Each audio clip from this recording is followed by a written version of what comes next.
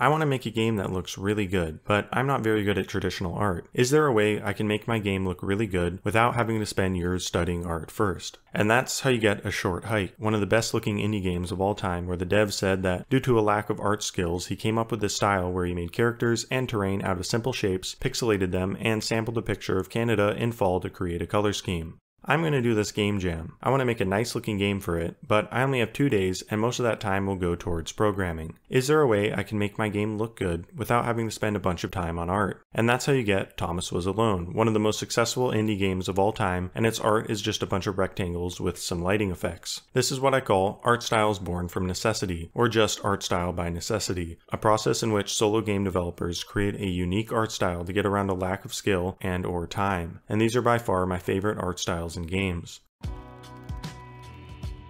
The most common expression of this in 2D is of course pixel art. Generally, beginner artists tend to make the mistake of getting caught up in the details at the cost of the overall structure of their art. Unlike a pencil though, pixel art forces you to focus on the overall shapes and structures with very little focus on detail work. This is why for so many beginner artists, their pixel art is way better than their pencil art. And then for experienced artists, pixel art is great because the abstraction allows them to make nice looking art way quicker and then they can have a lot more assets in their game compared to if their game had had a highly detailed style. The same is true in 3D with low poly art. Whether it's polygonated, flat colors, or retro style 3D, these styles are much easier for beginners to make quality art in, and also much faster for experienced artists to make, while still looking great in games. These are some overall trends I've noticed, but of course individual developers have their own unique styles on top of this. So I decided to ask a couple of my game dev friends what their styles are. First off, Salman Shurie. He showed me the art process for his game Tap Tricks. Start with a basic level block out using squares and circles, and a couple of hand-drawn sprites for the player. Add thick outlines and drop shadows on everything with a basic tiling pattern for the background. Add juice by putting in particle effects, squash and stretch on the player character, and messing with camera movements. Finally, bring it all together by creating a color scheme using a palette generator tool, and add some environment art and gradients. Two things he emphasized were his animation process and camera use. Having squash and stretch and tweening the color, size, position of characters can make them look very organic without him having to draw many unique animation frames. And then camera use can also really help sell movement by using zooms, screen shakes, and short freeze frames. This style also works great for UI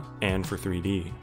Next up, Adam Pype. Adam's had a lot of different styles over the years, starting with pixel art, then Sokpop inspired 3D, then retro style 3D with lots of VHS style post processing, and finally cutout pictures mixed with 3D. He gave me a full list of his game art tricks, here are some of them. Lower the game resolution, disable anti-aliasing, make everything crunchy, use a cooler aspect ratio like 3-4, have one main material or post processing shader that makes everything the same style like a PSX shader, focus on contrast with no specular lighting, use textures that already have light in them, have a main light with hard shadows, and use point lights to give dynamics to areas in shadow. Only use one font, don't spend more than an hour on any individual asset, less if you can. Here's the full list of tips if you want to read it over. Finally, I'll talk about my game's art styles. For 3D, I do a lot of stencil painting. I find interesting images online and paint them directly onto models to get really organic looking textures. Once I'm done, I bring the textures into Krita, duplicate the layer, apply the sharpen filter, set the layer to be soft light, and then downscale everything using nearest neighbor. This makes textures look really crisp and juicy, and this is what I did for all of the monsters in Rot Flesh. For 2D, I draw basic blob silhouettes in white, then combine and tint them in Engine to create different creatures. Then I add drop drop shadows to them to make them feel more connected to the world. This is how I did all of the monsters in Endoparasitic.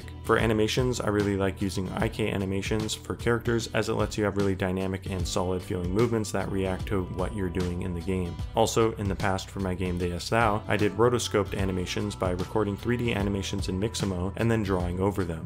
For environment art, I like to have really simple tile sets. For floors, I'll just have a couple different tiles and have one as the main tile that's displayed the most and one as sort of a detail tile that's just randomly displayed at different points to make the levels feel more organic. And for walls, I'll just have one simple tile set and layer it to create a pseudo 3D effect. Finally, rendering the game at a low resolution abstracts everything and hides imperfections while also giving some nice texture. Though recently I've started experimenting with using Voronoi filtering instead to achieve a similar but more organic effect. If you'd like to learn more about how I make art for my games, I just released a new art course where I go more in depth on the full process of how I make art with these techniques. There's a link in the description along with links to my old art courses. I have a retro 3D one and a flat color 3D one. Thank you for watching, and if you have a cool art trick that you use in your games, please leave a comment talking about it.